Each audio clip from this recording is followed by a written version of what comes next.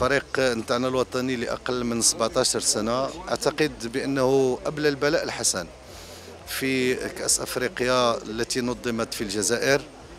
كانوا في مستوى الحدث على جميع الواجهات سواء من ناحية الانضباط وكانوا خير سفراء لبلدنا داخل الميدان لأنهم أعطوا كل ما عندهم من جهد لتشريف المغرب. وتمثيل المغرب أحسن تمثيل. اليوم هذه الدينامية التي تعرفها كرة القدم الوطنية النظرة الاستباقية لصاحب الجلالة نصر الله منذ أكثر من عشر سنوات عندما قرر إنشاء أكاديمية محمد السادس وأشرف عليها شخصيا وتمويلها شخصيا. اليوم نجني بعد ثمارها. أنتم شفتيو في المنتخب اللي كان في قطر المنتخب الأول لا اللاعب بن نصيري ولا التقنوتي ولا أناحي ولا نايف. المنتوج الخالص لهذه الأكاديمية. نجني بعض الثمار اليوم. المستقبل سيكون أفضل. سنجني ثمارا أكبر.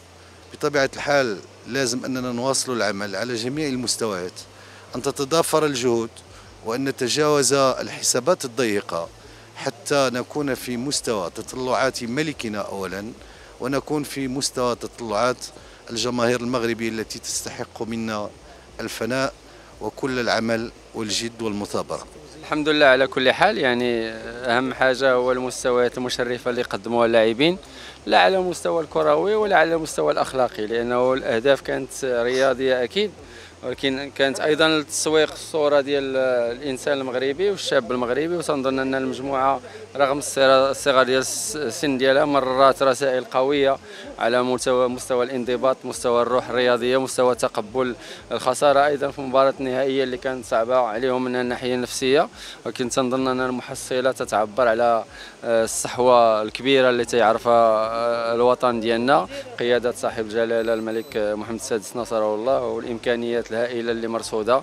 أيضا آه، المجهود الكبير ديال الجامعة الملكية المغربية لكرة القدم بقياده الرئيس ديالنا سي فوزي القجع وتنظن أن المنظومة اليوم يعني في السكة الصحيح.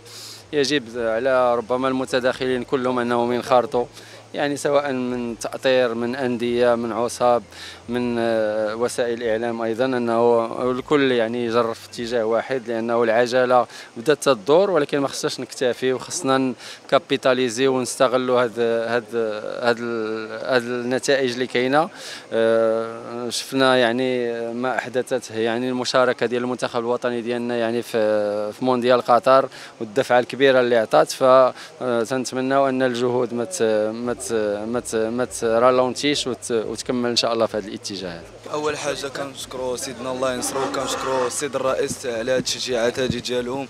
كنشكروهم بزاف المؤثرين ديالنا والحمد لله حنا فرحانين بهذا الشيء اللي قدمنا. وإن شاء الله كيتسنانا مازال الخير القدام إن شاء الله.